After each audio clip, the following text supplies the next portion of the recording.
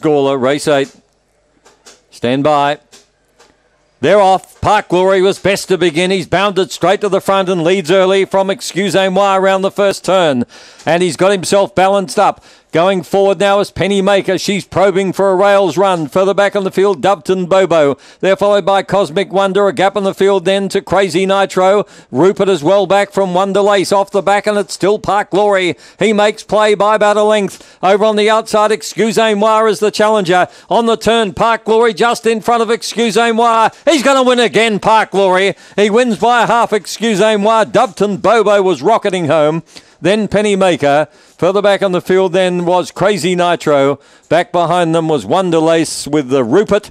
Cosmic Wonder in the bunch. 31.46. Your numbers are 2, 8, 3 and 7. Well, I know what Brian Styles has done, but the dog likes him. This dog went around time and time, doing very little. And uh, since Brian's got him, he's just uh, well, he's exploded.